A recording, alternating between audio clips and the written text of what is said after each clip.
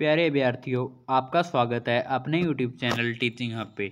तो आज हम बी एस टी सी दो हज़ार बाईस की जो काउंसलिंग स्टार्ट हो चुकी है, आपकी काउंसलिंग ख़त्म भी होने वाली है, आज लास्ट डेट है जो आप वीडियो बना रहे हैं। तो आज काउंसलिंग की लास्ट डेट है और तीस तारीख को आपकी पेमेंट जमा करवाने की लास्ट डेट है, जो कि आपके तीन हज़ार रुपये चलान जमा कराने की लास्ट डेट है। तो जल्द, जल्दी से जल्दी हम आपके टॉपिक की ओर चलते हैं। फ़र्स्ट लिस्ट कब आएगी मेन तो ये और फ़र्स्ट लिस्ट की कट ऑफ़ क्या रहेगी? आपकी फ़र्स्ट लिस्ट कब आएगी? ये भी एक बहुत बच्चों के कमेंट आ रहे थे।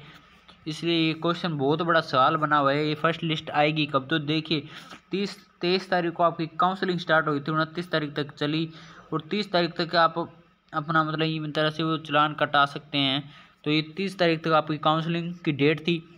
यदि आपकी डेट आगे तो नहीं बढ़ाई जाएगी, अभी तक तो न्यूज़ नहीं आई है आपकी काउंसलिंग आगे बढ़ाने की, कोई न्यूज़ नहीं है तो लास्ट डेट अभी तक तो तीस तारीख की अभी तक कोई नोटिफिकेशन जारी नहीं हुआ है आपकी काउंसलिंग आगे करने का तो ये आपके लिए बहुत बड़ा फ़ायदा है, क्योंकि क्योंकि जिसकी कारण आपकी जल्द से जल्द फ़र्स्ट लिस्ट आने की संभावना है, आपकी फ़र्स्ट लिस्ट आने की संभावना है, और जल्द से जल्द विभाग भी, अब बीकानेर संभाग जो आपकी ये परीक्षा करवाई थी, आपकी बीएसटीसी की तो जल्द से जल्द ये फ़र्स्ट लिस्ट जारी करने वाला है, क्योंकि इस इस बार बहुत ही ज़्यादा लेट हो चुका है।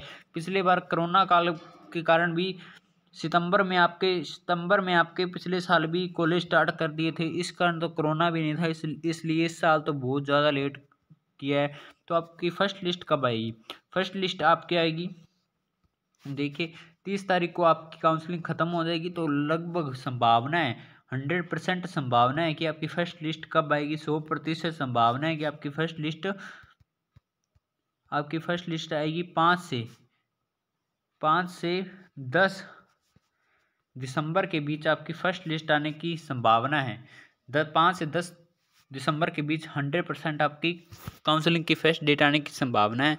और जैसे कि कट ऑफ़ क्या रहेगी? मेन मेन तो बच्चों को बहुत मैसेज आ रहा है तो हमारा सिलेक्शन इतने नंबर बने हैं, हमारे तीन सौ चौपन बने हैं, हमारे तीन सौ बयासी बने हैं, हमारा सिलेक्शन हो जाएगा, हमारे चार सौ सत्ताईस नंबर बने हैं। ऐसे बहुत मैसेज आ रहे हैं हमारी चैनल के ऊपर कि हमारा सिलेक्शन होगा या नहीं होगा फ़र्स्ट लिस्ट में। तो सबसे पहले कट ऑफ़ जाएगी क्या फ़र्स्ट लिस्ट फ़र्स्ट लिस्ट की कट ऑफ़ क्या जाएगी? इस इस वीडियो में हम महत्वपूर्ण यही डिस्कस करेंगे कि आपकी फ़र्स्ट लिस्ट की कट ऑफ़ क्या जाएगी। तो आपकी फ़र्स्ट लिस्ट की कट ऑफ़ जो जाएगी हम बताते हैं आपको। तो जैसे जर्नल की आपकी कट ऑफ़ जाएगी, जर्नल की आपकी कट ऑफ़ जाएगी चार सौ प्लस।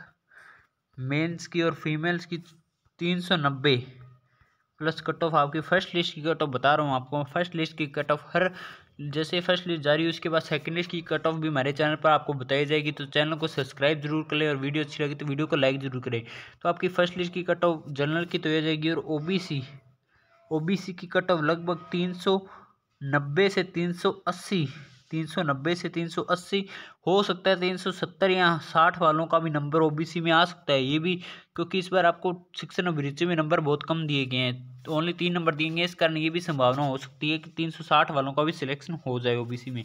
तो एस टी और S C S C S T में हो जाएगा लगभग साढ़े तीन सौ प्लस वालों का, तीन सौ चालीस वालों का भी इस बार सिलेक्शन हो सकता है। तो तीन सौ वाले तीन सौ वालों का भी चांस बन सकता है। तीन सौ प्लस जिनके भी हैं, सबका चांस बन रहा है इस बार, इस वाली काउंसलिंग के अंदर तो ये विशेष ध्यान रखें और चैनल के साथ जुड़े रहें।